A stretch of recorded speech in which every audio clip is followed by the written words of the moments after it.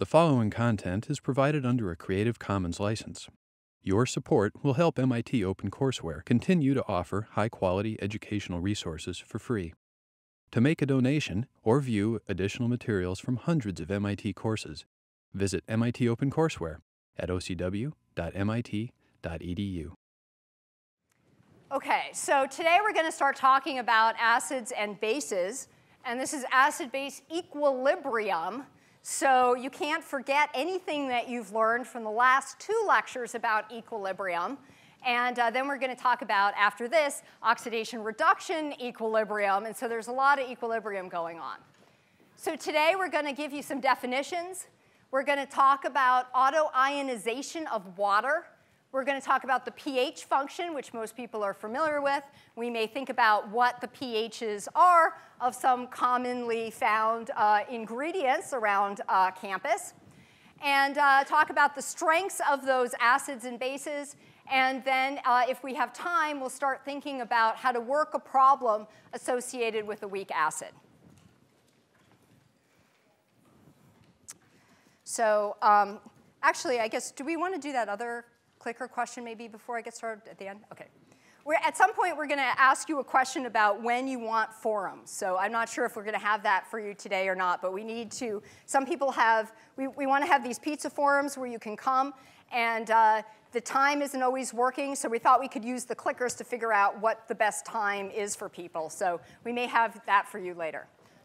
So this is the narrowest definition of an acid and a base. So the narrowest definition of an acid and a base is that an acid is a substance when you dissolve it in water. It increases the concentration of hydrogen ions, or H+. Whereas a base is a substance that when dissolved in water increases the concentration of hydroxide ions, or OH minus. So that's pretty narrow. We can be broader. We can talk about um, Bronsted-Lowry, and here, an acid is described as a substance that can donate a hydrogen ion, and a base is described as a substance that can accept a hydrogen ion. So let's uh, look at some uh, let's look at some examples using that definition. Hmm. Let's see. Need the right kind of chalk. All right. So let's look at an example all right, this is slightly pathetic. I'm going to use my glasses to write it down right. Okay.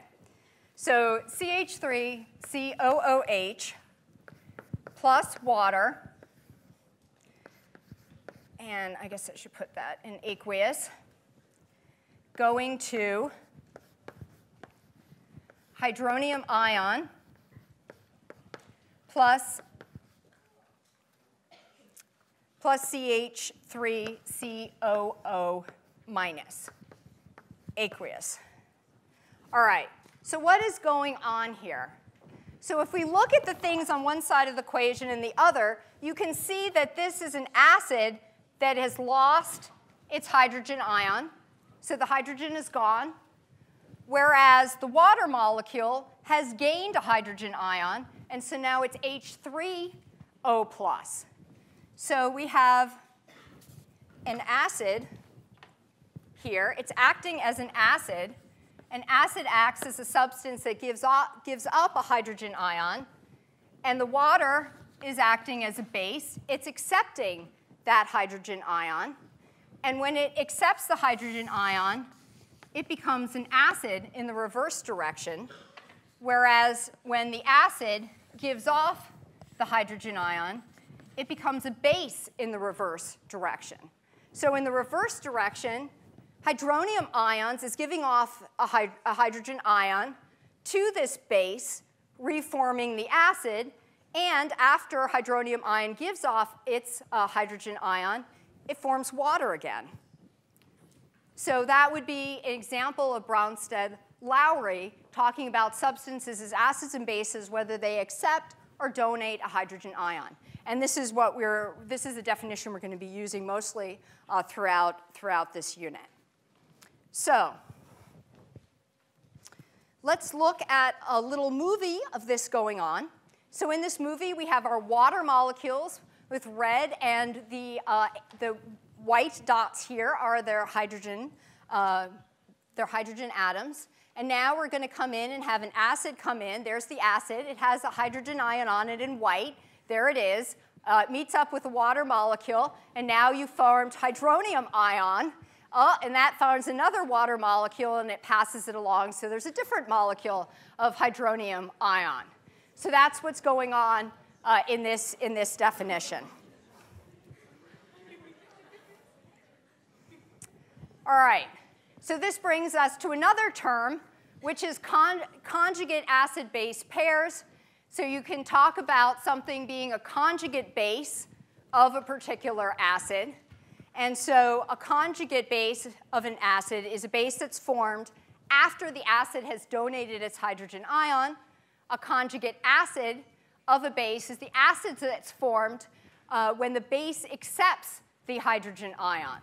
So you can look at those examples here. So we have a pair that we've drawn here with this uh, red line, an acid-base pair, and the other pair is the water and the hydronium ion.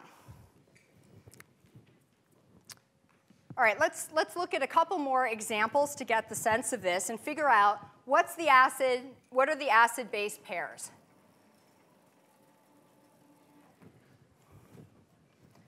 So one more example. Okay. So now let's look at H.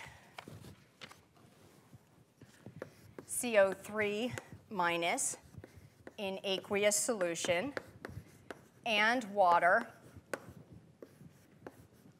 going to, again, hydronium ion and CO3 minus 2, also in aqueous solution. So what is HCO3 minus acting as here? As an acid. And so what does that make water? A base.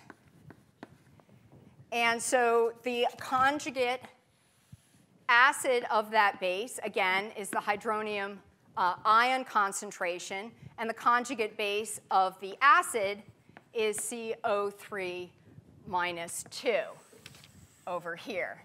And so in the reverse direction, this base will be accepting a hydrogen ion from the, from the acid, forming the conjugates on the other side.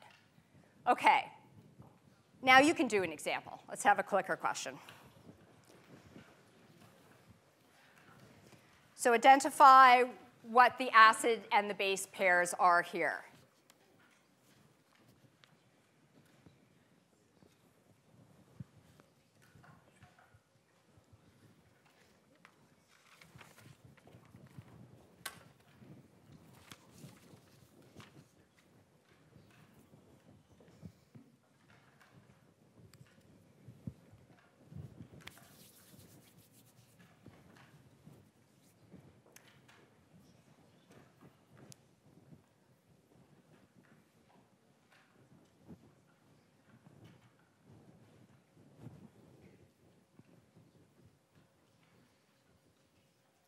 All right, let's take 10 seconds.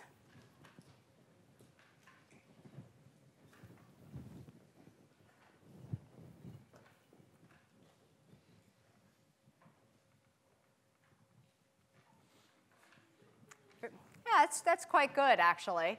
Yeah, so uh, that's, that's correct, and you can write it in your notes that here we see uh, that there's a little bit of change. Water's doing something different. So instead of the conjugate of water being the hydronium ion, we see it's a hydroxide. So here, the water is acting as an acid, giving off a hydrogen ion to this H3, uh, HCO3 um, minus. And so now we have a second hydrogen ion over here. We have the H2 species, and that the conjugate of water is OH. So this is acting as a base. It's accepting a hydrogen ion. This is donating it. It's an acid. This is the conjugate acid of that base, and this is the conjugate base of that acid. So in the reverse direction, uh, this is an acid giving off a hydrogen ion to the hydroxide forming, forming water. So one thing that you'll notice about these examples that we've written up is that when you see water in the equation, you don't really know what it's going to be doing until you actually look at what the products are, and then you can figure it out. So water can act as either an acid or a base in these equations. And uh, if we go uh, to the, the lecture notes, uh, the term is um, amphoteric, which is a molecule that can act as either an acid or a base, depending on the reaction conditions. So depending on if it's mixed with something that's a stronger acid or a stronger base than it is. And an example, one of the most common examples, uh, is, is water. So now let's consider a, uh, a broader uh, example of acids and bases. And these are Lewis acids and bases. And we're going to actually come back to this around Thanksgiving time when we talk about transition metals. And so here it's really broad. We're not actually even going to talk about a hydrogen uh, ion at all. So in this case, uh, we're talking about a Lewis base as a species that donates lone pair electrons. And a Lewis acid is a species that accepts such electrons. So here would be an example.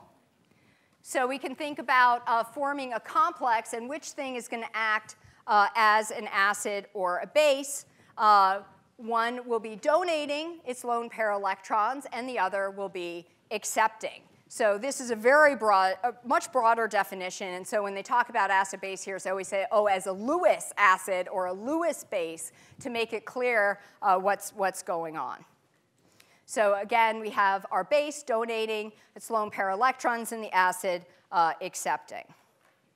All right, so those are our definitions of acids and bases. So now let's come back to uh, this issue of water and how water can act as an acid uh, or a base. So if it can act as an acid or a base, it seems like it can react with itself to do some chemistry, and it can. So up here, you could have one water molecule acting as an acid, giving up its hydrogen ion to another water acting as a base, forming hydronium ion, and also forming hydroxide ion.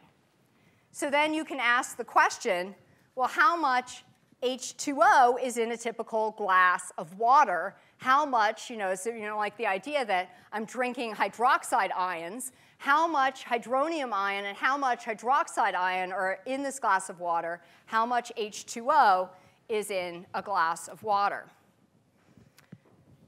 So that's the question.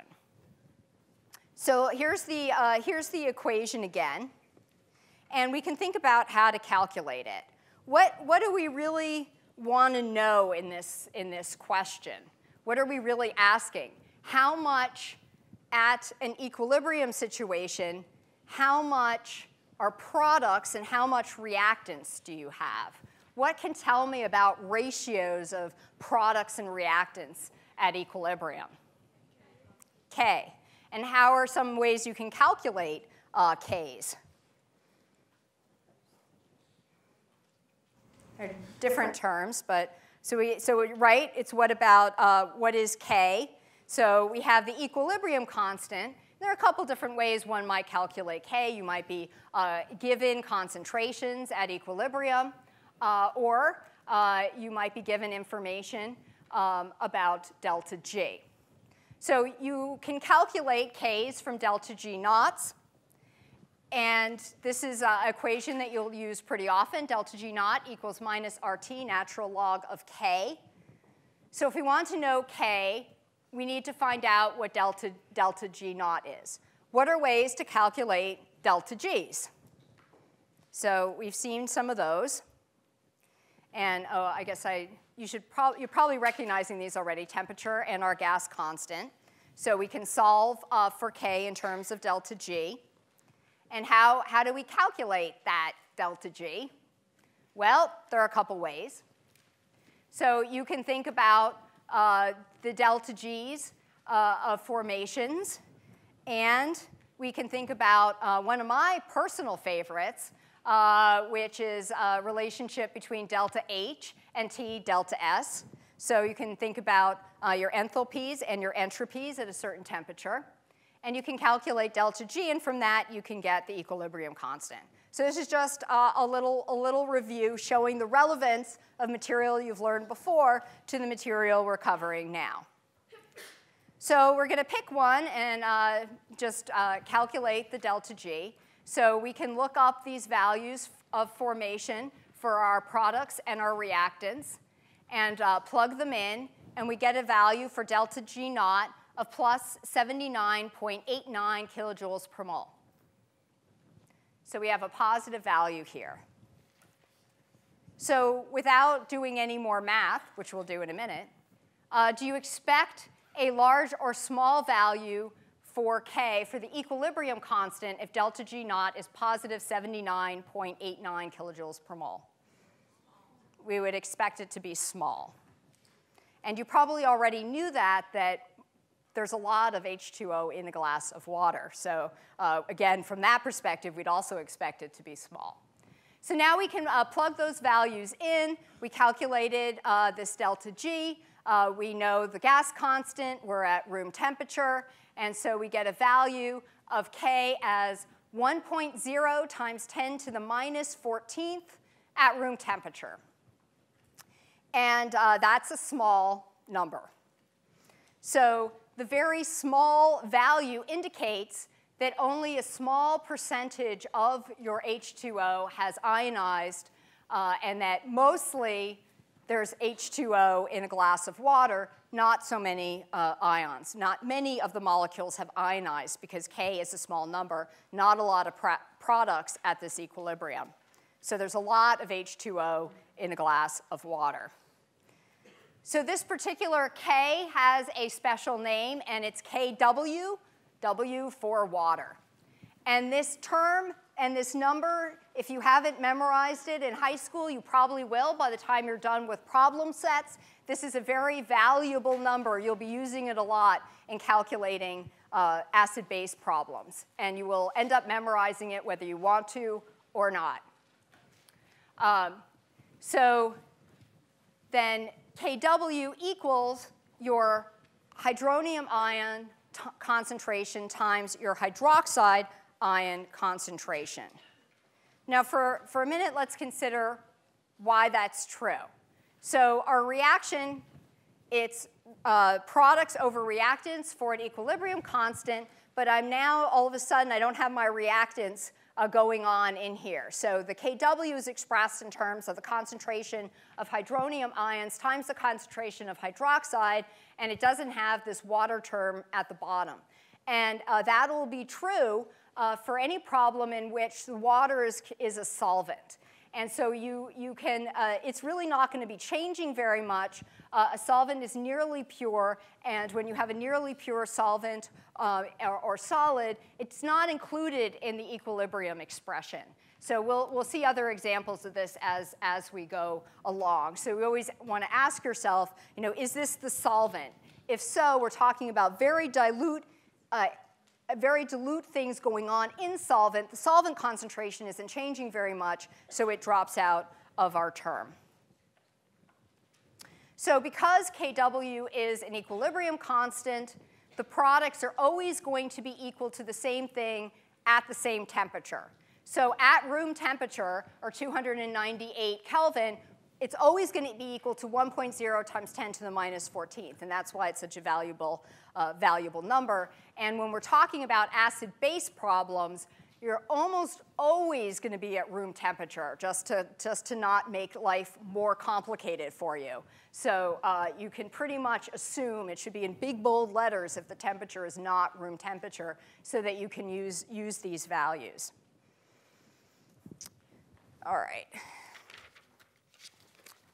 So let's look at the pH function now. So what does pH equal? So pH is equal to the minus the log of the hydronium ion concentration. And let's also talk about POH, and that's equal to minus log of the hydroxide ion concentration. I just told you that Kw is equal to the concentration of hydronium ions times the concentration of hydroxide ions. And now we can express this in another very useful way for you. Uh, if we take the log of all sides, actually take, let's take the minus log of everything. So minus log of kW equals um, the minus log of hydronium ion concentrations, concentration minus the log of hydroxide ion concentration. And we end up with terms of K, pKW being equal to pH, because minus log of the hydronium ion concentration is pH, and minus the log of the hydroxide concentration is POH, so plus POH. And we know that this term at room temperature is 1.0 times 10 to the, more, to the minus 14. So this term at room temperature is 14.00, again at 25 degrees C or 298 uh, Kelvin. So this is also a useful expression. If you, if you know uh, the pH, you can calculate the POH if you're at room temperature, remembering this number of 14. So these are things that you will be doing a lot in the problems, and you will start remembering all of these numbers uh, really well. So PO, pH and POH, what does pH do for you? Well, the pH tells you about the strength of the acid. So the pH of pure water should be neutral, which is 7. And now tell me what the pH of an acid is or the pH of, and the pH of a base.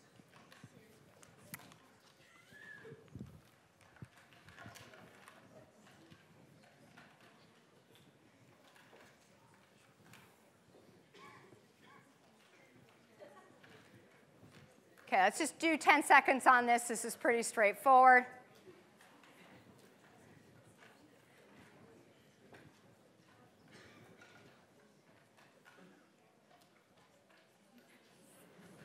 So this tests previous knowledge uh, on this topic, and it is very good. Uh, people, people know uh, about what the pHs are. So uh, that's right. So the pH of an acid solution is less than 7, and pH of a base solution is greater than 7. And the EPA defines corrosive as something where the pH is lower than 3 or greater than 12.5.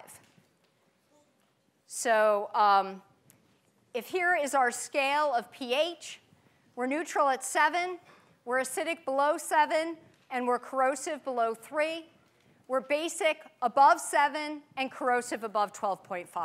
So now what I want to do is ask uh, Dr. Taylor to come up and uh, we're going to measure some pHs of things. Uh, so we're going to be uh, interested in knowing uh, how much danger you're in around MIT.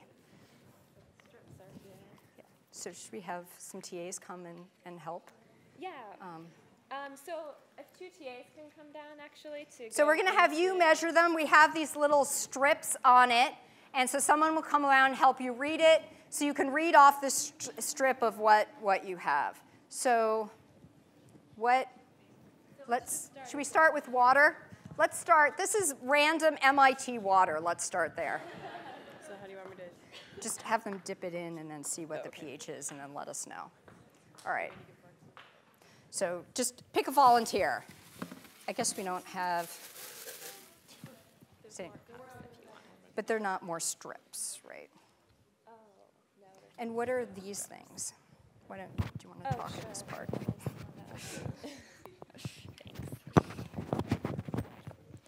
Okay, so what we're going to do is have the TAs go in and ask you to read off of a pH strip what the pH of various things are. And actually, Marcus, if you can write on the board um, what these are. So we'll start with MIT water. Uh, so we know if it's 7, it's neutral. If it's below 7, we're talking about acidic, and above that, it's basic. We actually also, for you to be able to visualize as well, what I did is I just boiled up some cabbage last night um, and brought in the extract with me. And cabbage actually has uh, anthocyanins in it, which is a color indicator. And it changes color based on whether it's in an acidic or a basic solution. So we'll let you see this here. Um, it looks like MIT water, pretty safe to drink, which is good news. Uh, we can go ahead and. Should I just add Sure, yeah. Water to this. Yep. So uh, it looks like if we add MIT water to cabbage solution, what do you think is going to happen? This is neutral right now.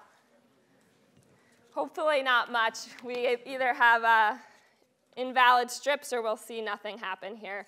All right, so you can see we still have a purple color for MIT water, two confirmations that it's safe to drink right out of the tap when you get home. All right, so the next thing is vinegar. Did someone take the, the strip? Okay, are we drinking vinegar? Probably not straight. Um, all right, so we've got our cabbage extract here. It's purple. Does anyone have a guess as to what color it's going to turn if we pour in vinegar, very acidic? All right, a couple guesses. I hear blue and pink. They're both good guesses because different color indicators turn different colors. But, all right, looks like a dramatic difference here. All right, what do we have next out there? Is it the baking soda? Seven for the baking soda. I'm going to guess we did not pour in enough or it is not dissolved here. All right, so let's do our secondary test here and see what happens with the baking soda.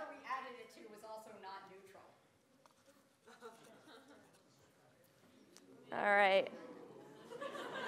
So we're actually pretty basic with the baking soda. We won't give it a number because it was just dissolved in water, so, uh, but we'll remember baking soda, blue here, is basic.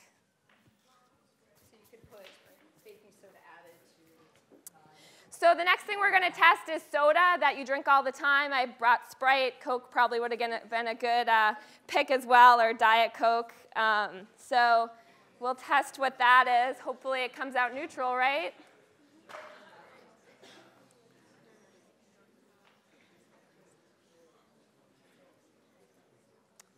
So while we're waiting, we'll start taking a little bit of a look here. All right, we've got a, a three. Soda corrosive. It's not just the sugar that's bad for your teeth.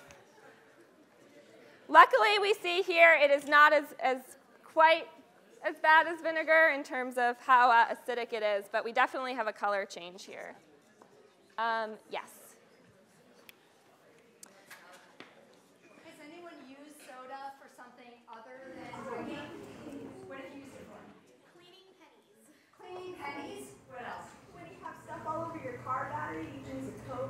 Well, car batteries, yes.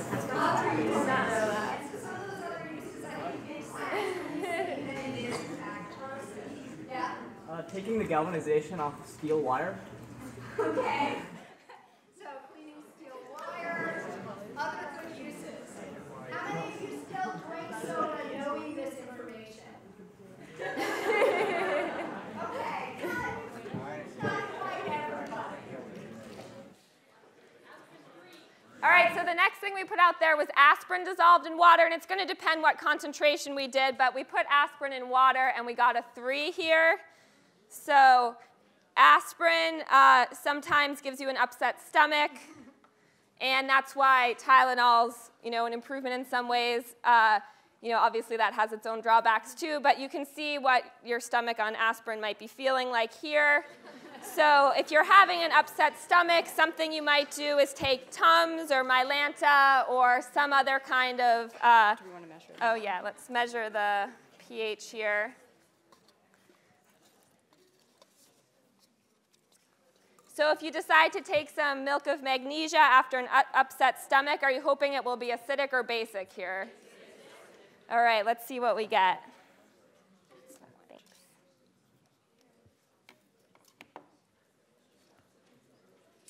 All right, so this is kind of thicker, so let's see how this works. I think you can start to see the green at the bottom. So it's white in here, so this is not just the color. So we'll let that slowly mix in. What do we got for a pH if you can read it on there? This might be uh, another no-go. It says seven, but Oh, I think it's actually blue if you flip. Probably looking like a nine or a 10 maybe. uh, okay, I see. So how many people have had lunch yet today? How many are going to have lunch soon? How many people are now reconsidering what they're going to eat for lunch based on this demo? Anybody? Oh, no,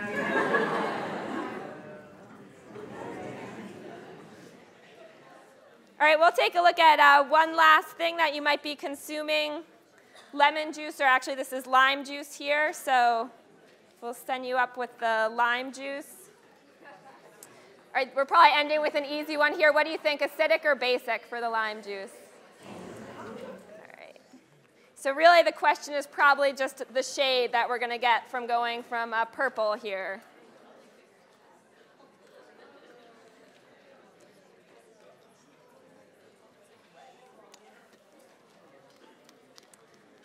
All right, so what are we reading for the lime juice? A two, okay.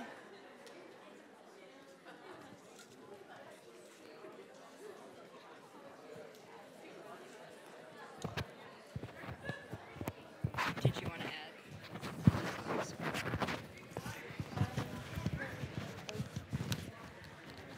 Okay, so that's, that's uh, the end of our demo here, providing you with some uh, tips about uh, what is corrosive and what is not corrosive around MIT. And I think the title of this lecture on the syllabus is, Is it safe to drink the water at MIT? And uh, the answer is uh, a lot safer than drinking soda.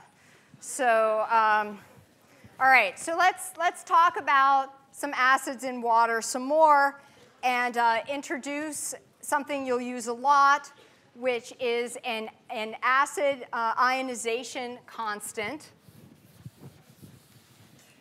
So let's look at an example of an acid in water.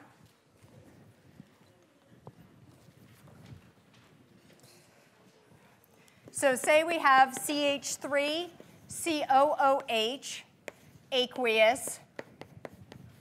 So it's in water, which is our solvent.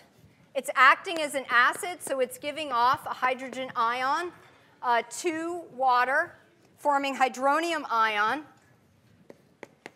and forming its conjugate, which is missing its hydrogen ion. All right, so here we have an equation. And now we're going to introduce something which is the acid ionization constant, or Ka. And you'll be using Ka a lot in this course. We're also going to have some Kb's for bases. So the acid ionization constant. And it's an equilibrium constant, so you all know how to write equilibrium constants. So the equilibrium constant is going to be products, which in this case is hydronium ions, over um, times the concentration of the conjugate base of the acid over the conjugate acid.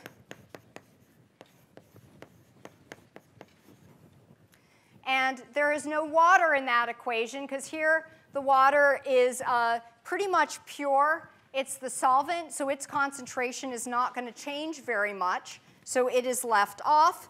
And I can tell you that the ionization constant here is 1.76 times 10 to the minus 5.